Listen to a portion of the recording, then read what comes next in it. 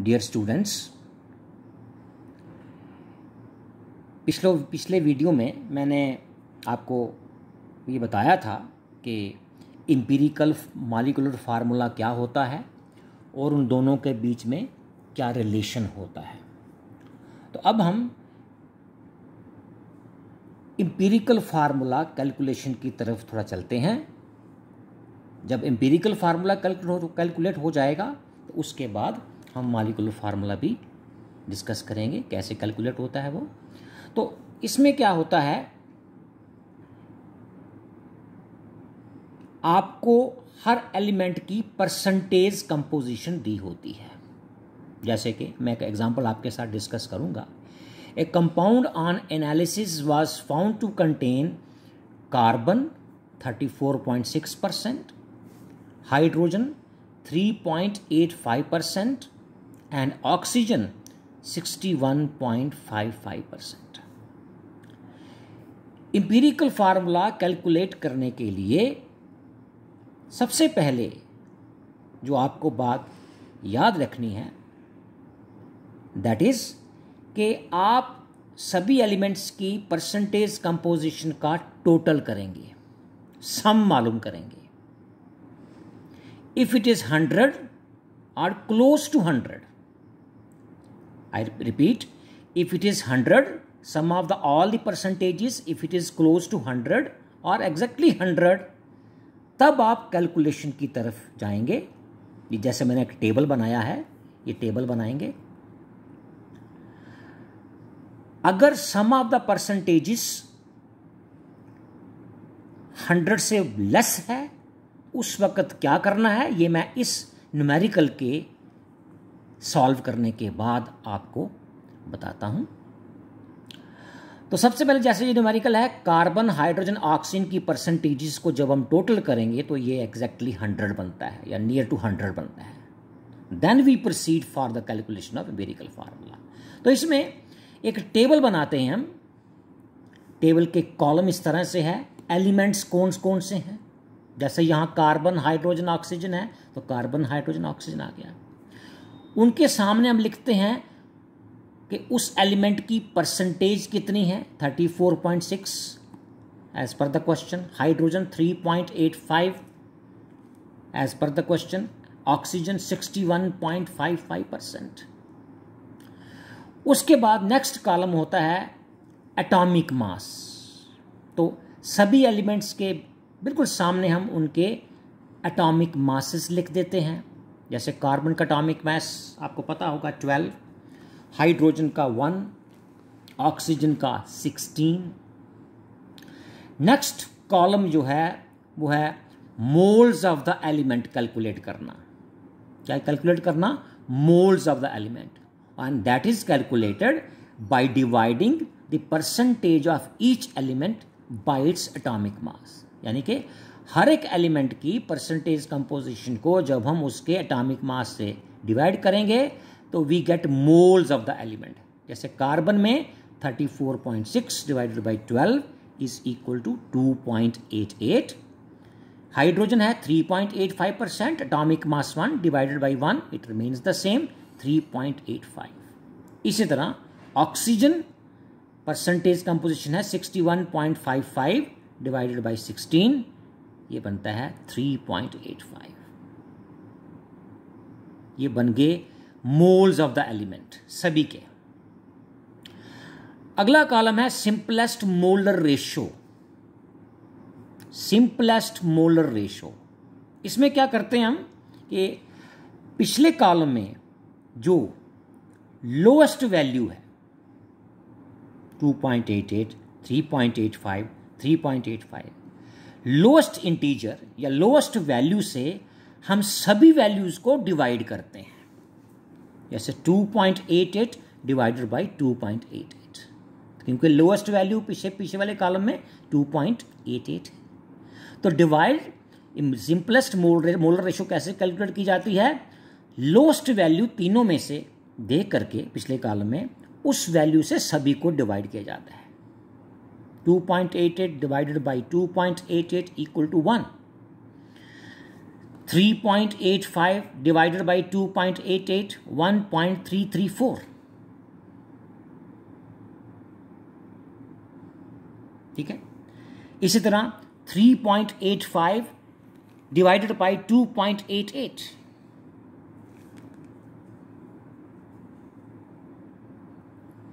1 1.337 1.337 1 तो ठीक है, ये होल नंबर है। लेकिन 1.334 1.334 होल नंबर नहीं है। ऐसे केसेस में हम क्या करते हैं? कोई ऐसा नंबर हम ढूंढते हैं, जिससे तीनों को मल्टीप्लाई करने से वो नंबर्स जो हैं, वो होल नंबर में कन्वर्ट हो जाएँ। जैसे थ्री से अगर मल्टीप्लाई करें तो three into one three three से सेकंड वैल्यू को हम मल्टीप्लाई करेंगे it will be near about four इसी तरह थर्ड वैल्यू को हम जब थ्री से मल्टीप्लाई करेंगे तो होल नंबर में कन्वर्ट हो जाता है, या near about whole number convert हो जाता है। अगर यहाँ पहले से होल नंबर हैं जो कि इस एग्ज़ाम्पल में नहीं थे। तो उनको हम फिर सिंप्लीफाई करते हैं और सिंपलेस्ट होल नंबर रेशो वाले कॉलम में लिख देते हैं।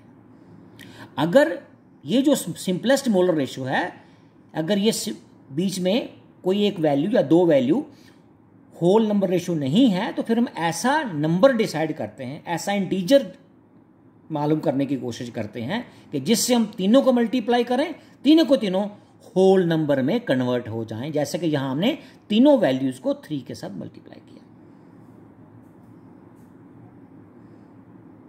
तो three four four simplest whole number ratio आपके पास आ जाती है। और अगर आपको डेफिनेशन याद है इंपेरिकल फार्मूला की तो आपको पता होगा इंपेरिकल फार्मूला क्या है? जो एलिमेंट्स के बीच में क्या दे? सिंपलेस्ट होल नंबर रेशो इसलिए empirical formula of the compound क्या हो गया? C three H four O four क्योंकि empirical formula is the formula which give simplest whole number ratio between the atoms of various elements present in the molecule ठीक है? अब molecular formula पर जाने से पहले मैंने आपको फ़र्स्ट इस न्यूमेरिकल में भी बताया कि परसेंटेजेस का टोटल आपको करना होता है। If it is hundred or close to hundred तब तो कोई प्रॉब्लम नहीं है। But if it is considerably less than hundred hundred से बहुत कम है। जैसे कि बहुत सी प्रॉब्लम्स में क्या होता है? ऑक्सीजन की परसेंटेज नहीं दी होती है। तो फिर हमें चेक करना पड़ता है कि वेदर ऑक्सीजन इज़ प्रेजेंट और नॉट अगर sum percentage is almost hundred है तो oxygen is suppose to be absent क्या कहा मैंने? अगर sum of all the percentage is given is almost close to hundred oxygen is suppose to be absent लेकिन अगर समा परसेंटेजेस लेस देन हंड्रेड है, काफ़ी लेस है कंसिडरेबली लेस है तो उस केस में सभी परसेंटेजेस का टोटल करके हंड्रेड बेस से हम सब्ट्रैक्ट करेंगे then that that becomes percentage of oxygen एक बात और यहाँ मैं बताऊँगा। आपको ऐसी प्रॉब्लम्स आएँगी? कैलकुलेशन में कई बार क्या होता है कार्बन हाइड्रोजन ऑक्सीजन की परसेंटेज को टोटल किया। कार्बन हाइड्रोजन ऑक्सीजन की परसेंटेज को टोटल किया। हंड्रेड से बहुत कम है टोटल तीनों परसेंटेजेस का तो fourth element that means fourth element will be present उस केस में fourth element we take nitrogen then nitrogen is present तीनों की परसेंटेजेस का टोटल करके हंड्रेड में से माइनस करेंगे that becomes the percentage of nitrogen और कई बार आपको प्रॉब्लम्स ऐसी भी आएँगी कार्बन हाइड्रोजन नाइट्रोजन की परसेंटेज दी होगी, और सम परसेंटेजेस हंड्रेड नहीं होगा। तो आप हंड्रेड में से तीनों का टोटल माइनस करके ऑक्सीजन की परसेंटेज फोर्थ एलिमेंट कौन सा हो जाएगा? ऑक्सीजन हो जाएगा। कहने का मतलब है, कार्बन, हाइड्रोजन, नाइट्रोजन अगर का टोटल करके हंड्रेड नहीं बनता है तो दैट मीन्स फोर्थ एलिमेंट कौन सा है? नाइट्रोजन है। हंड्रेड में से तीनों की परसेंटेज का टोटल आप माइनस सब्ट्रैक्ट करेंगे, वो आपकी परसेंटेज ऑफ़ फोर्थ एलिमेंट हो जाएगी। तो कई बार कार्बन, हाइड्रोजन, नाइट्रोजन दी होती है, उनका परसेंटेजेस का टोटल हंड्रेड नहीं होता तो फिर सभी का टोटल करके हंड्रेड में से माइनस करेंगे उसमें फोर्थ एलिमेंट नाइट्रोजन प्रेजेंट होगा। ये बड़ा इंपॉर्टेंट पॉइंट है। तो सबसे पहले मेन पॉइंट कैलकुलेशन करने से पहले ये है, आप सभी एलिमेंट्स की परसेंटेज कंपोजिशन का टोटल करें। Then you proceed for the calculation of empirical formula तो मैं अगले वीडियो में आपके साथ अगल अगले वीडियो में आपके साथ कि इंपेरिकल फार्मूला जो हमारे पास आ गया कैलकुलेट हो गया तो मालिकुलर फार्मूला कैसे कैलकुलेट करना है? अगले वीडियो में मैं आपके साथ वो एक एग्ज़ाम्पल डिस्कस करूँगा और कुछ एग्जाम्पल्स आपको प्रैक्टिस के लिए भी मैं वीडियो के माध्यम से दूँगा। Until then thank you very much